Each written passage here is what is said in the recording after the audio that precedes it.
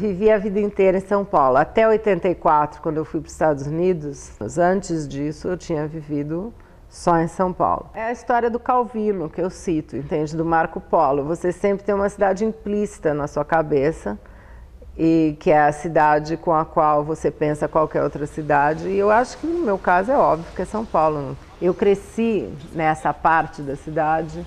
A minha avó morava na Rua Bahia, que é a rua aí de cima. Meu irmão mora no prédio ao lado. A minha irmã mora três quarteirões para baixo. Todos os meus amigos circulam por aqui. Eu encontro meus colegas do ginásio na praça ali embaixo. Quer dizer, tem uma coisa de circulação aqui também que para mim é, é absolutamente familiar. Eu circulo nela provavelmente de um jeito que não é como a maioria dos meus amigos circulam, que eu circulo na periferia, eu circulo em qualquer lugar. Eu entrei na graduação em 73, a situação era ainda muito complicada na universidade e a Ruth já estava fazendo a pesquisa da favela, mas daí ela e a Eunice deram um curso, eu acho que era sobre movimentos sociais, eu não me lembro exatamente, mas era um curso em que os alunos tinham que fazer pesquisa na periferia. E a questão é que a gente tinha que fazer entrevistas e fiquei completamente fascinada com o discurso de senso comum sobre a política, em, em contraste, enfim, com com duas coisas, com o discurso oficial e com o marxismo, que era o que se aprendia nas ciências sociais naquela época, que era, enfim, era toda a discussão sobre consciência de classe, sobre, enfim, consciência operária, etc, etc e tal. Essa altura eu trabalhava, eu fiz a faculdade de noite, eu trabalhava na, na editora Abril nessa época, Daí eu passei um ano mais trabalhando na Editora Abril depois de me formar e daí eu resolvi fazer o mestrado. E exatamente sobre isso. Tinha todas as,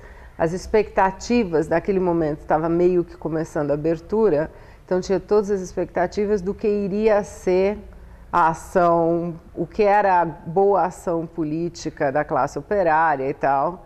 E já estava na, na, minha cabeça naquela época, e obviamente a Ruth e o Eunice já estavam discutindo isso, que a ação política podia vir por outros caminhos que não era exatamente aquele esperado e tal. A Ruth tem a fantástica capacidade de saber para onde a mudança está indo. Ela foi uma das primeiras pessoas a falar sobre movimentos sociais e a ver o que estava acontecendo e a ir na periferia e a sentir como as coisas estavam indo e tal. Daí eu voltei, falei com ela, perguntei se ela me orientaria Daí eu pedi demissão da editora Abril e troquei um ótimo salário por uma bolsa da FAPESP e fui fazer a pesquisa em São Miguel. Eu criei uma relação com, muito forte com aquela área e fiquei fazendo pesquisa de campo lá dois anos. E durante esse tempo, quer dizer, eu fiz muitas, quer dizer, fiz inúmeras entrevistas e fiquei participando dos movimentos sociais. No Jardim das Camélias, que era, enfim, esse bairro completamente precário, hoje em dia está quase todo urbanizado. Tinha um grupo de mulheres, tinha uma sociedade de amigos de bairros muito ativa, porque é uma área de terreno grilado, e essa sociedade é ativa até hoje, com a questão dos terrenos que ainda não estão resolvidos. No SEBRAP, naquela época, discutia isso, política brasileira, todo dia. Eu comecei a fazer pesquisa lá em 78. Em 78 teve uma eleição. Eu fiz várias entrevistas já sobre como as pessoas pensavam o voto. E foi o primeiro artigo que eu publiquei, que chama Para que serve o voto. Era todo esse diálogo, como que você tem um outro imaginário da política, que é, na verdade, com o qual as pessoas tomam decisões no dia a dia, que estava passando desapercebido, que era exatamente o que uma pesquisa antropológica te trazia. Foi essa confluência de coisas que acabou me levando, me formando de uma certa maneira. Então, eu acho que a política dos outros, ela foi publicada em 84, a tese foi defendida em 82, já é o resultado de todas essas coisas. Em 80 eu virei pesquisadora do SEBRAP, e, então, quer dizer, tinha toda essa, essa confluência de coisas. E eu acho que o papel que a Ruth exercia no SEBRAP era exatamente o de forçar um outro olhar, que era esse olhar antropológico. Em 82, a, gente, a Ruth, nós fizemos uma grande pesquisa que chamava Contexto Cultural da Ação Política, que era uma pesquisa que foi feita no SEBRAP, que a Ruth dirigia com o financiamento da Comissão de Justiça e Paz, que era para entender como se formaria a opinião política para a primeira eleição de governador. Então, nós começamos essa pesquisa em 81, as eleições de governador eram no fim de 82 e a nossa ideia era que a gente tinha que acompanhar um ano, pelo menos, de processo político. A ideia do governo militar é que, que o voto local ia puxar o de governador e que, portanto, uh, os vereadores da arena iam puxar o voto.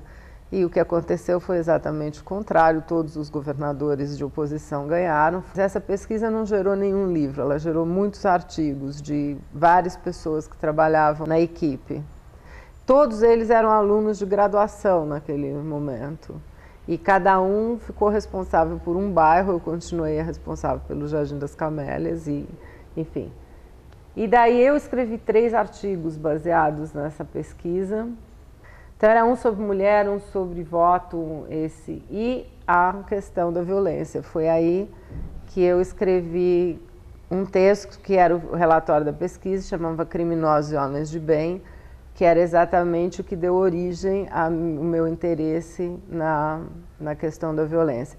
Porque quando a gente fez as pesquisas anteriores, na década de 70, a violência não era um assunto. Quando você entrevistava sobre os problemas do bairro, os problemas do bairro era falta de água, de esgoto, de posto de saúde, de não sei o que e tal. Em 81, a violência tinha passado a ser, estava virando o discurso dominante. E era o principal discurso para diferenciar os, entre, os, entre os iguais. Mas nessa época a Ruth já tinha me convencido, e isso tem tudo a ver com ela, que eu tinha que ir para fora para fazer o doutorado. E daí eu decidi ir para os Estados Unidos por uma conjuntura pessoal na época. E a questão, eu acabei em Berkeley por acaso. E quando eu estava assim para sair para lá, eu comentei com o Gilberto que eu ia para lá e ele me disse: tem uma pessoa em Berkeley que você tem que ver, que se chama Paul Rabinow. Eu disse: tá bom. Botei a, mais uma coisa na minha agenda e fui embora. E quando eu cheguei em Berkeley, o Paul Rabinow estava dando um curso, era um curso absolutamente fascinante, é um curso que virou na história da antropologia americana. O Paul Rabinow e o James Clifford estavam dando um curso juntos. Então, eles estavam, naquele momento, elaborando os artigos que iria virar o Writing Culture. Isso em 84, se eu não me engano, o Writing Culture foi publicado em 86. Então, as discussões eram acirradíssimas. O Jorge Marcos já tinha publicado alguns artigos naquela altura, criticando, desconstruindo a antropologia americana. O Ravenel tinha publicado Reflections on Fieldwork in Morocco e o Clifford tinha publicado, eu acho, On Ethnographic Authority. Algumas das coisas dessa grande discussão, para mim, eram déjà vu, porque eles estavam lendo Foucault, o Ravenel tinha levado Foucault lá nos anos anteriores, o Foucault tinha acabado de morrer. Eu já tinha feito um curso só sobre Foucault aqui em 78, quer dizer, era uma coisa assim a gente leu aqui Vigiar e Punir, foi publicado aqui simultaneamente com a França e demorou muitos anos para ser publicado nos Estados Unidos. Foi uma a introdução completa na, no cenário americano, porque esse seminário foi indo e daí no, no daí eu tinha que fazer um trabalho de curso. Eu digo assim, o que eu vou fazer?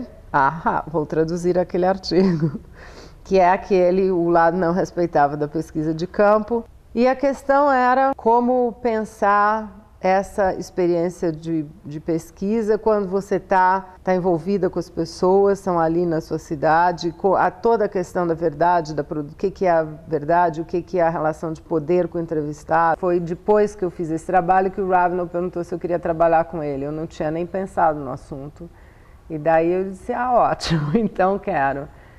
Meu projeto era sobre São Paulo, ele disse assim, eu não entendo nada sobre São Paulo, mas eu entendo muito sobre urbanização e posso pensar a questão. Naquela época ele estava fazendo pesquisa sobre a urbanização do Marrocos. Então, ele estava pensando sobre essas questões. Ele disse assim: Eu não entendo nada sobre o Brasil, mas eu sou um bom leitor. E é exatamente isso que ele foi. Ao contrário das maioria dos orientadores americanos, ele me deu total liberdade de fazer o que eu queria. Ele não fez nenhuma questão que o meu trabalho tivesse a marca dele, quer dizer, que dissesse que, enfim, que eu devo não sei quantas coisas a ele, que é uma coisa que eu sempre apreciei. Daí eu entrei num circuito, numa discussão na antropologia americana que continuou e hoje, enfim, essa vertente que estava desconstruindo a antropologia americana, hoje é a vertente dominante na antropologia americana. Eu acho que, com exceção do Guts, todos os antropólogos americanos hoje que têm um, enfim, um papel prominente vêm desse processo de reconstrução, de, re, de crítica, de deconstrução da antropologia que aconteceu a partir de meados, enfim, da década de 80. Não tem antropólogos que façam pesquisa, não tem muitos antropólogos que façam pesquisa sobre cidade. Tem muitos geógrafos, urbanistas, sociólogos e tal que estão lidando com metodologias parecidas, com perspectivas parecidas, com maneiras de encarar parecidas, mas não que venham necessariamente da antropologia. A minha experiência de idas e vindas e de deslocamento entre a Califórnia, sobretudo Los Angeles e, e São Paulo, eu acho que acabou sendo estruturante da maneira pela qual não a pesquisa necessariamente foi feita, mas pela qual ela foi escrita. A pesquisa de campo foi indo, começou a ser feita quando já tinham sido captadas lá em 82. Eu fui seguindo, quer dizer, eu fui correndo atrás dessas narrativas e continuei a fazer entrevistas. O estudo da política dos outros tinha sido feito num bairro e eu tinha colhido todos os outros materiais de fontes secundárias. E eu também sabia que não adiantava, isso era uma, uma certeza que eu tinha desde o começo, que a violência não era uma questão de bairros, que era uma questão da dinâmica da cidade, que não adiantava tratar a violência num estudo de São Miguel Paulista.